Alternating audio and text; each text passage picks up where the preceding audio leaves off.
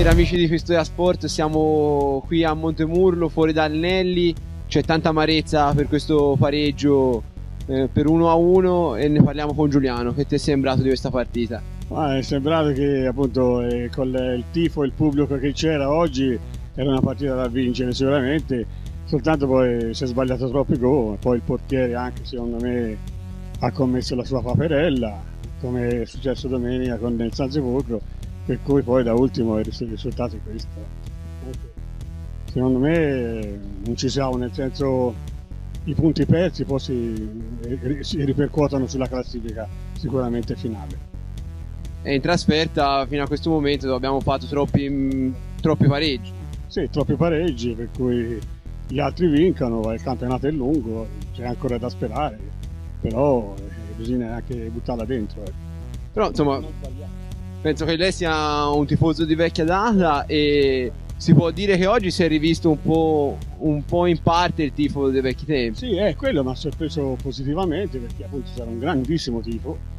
Eh, io sono un vecchio tifoso eh, dai tempi di Montoliveto, per cui sono, su, su, quello siamo contenti, però appunto il Tese doveva chiudere la partita, anzi non ce l'ha fatta.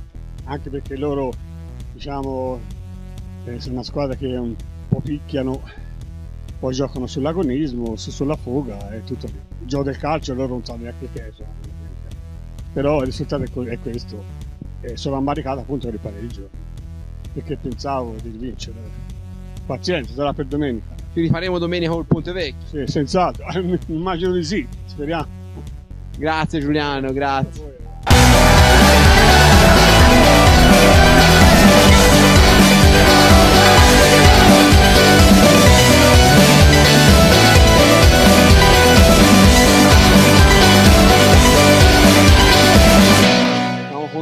Un ospite illustre, il sindaco di Montemurlo Lorenzini, che ha assistito alla partita e che, che gli è parso.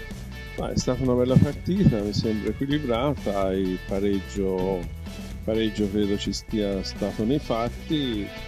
Ci dispiace che qualche fascino rosso abbia rovinato il bel gioco del calcio. Comunque penso le forze dell'ordine si sono comportate molto correttamente, isolandoli e quindi una bella, una bella partita.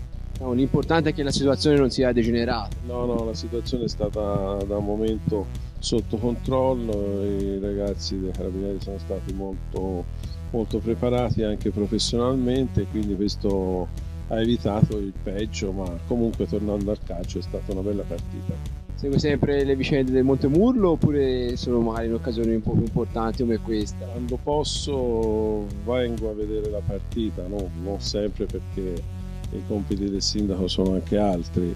Naturalmente ci fa onore che una squadra come il Montemurlo sia, abbia raggiunto i livelli della Serie D. Soprattutto visto anche con un discreto seguito di pubblico. Sì.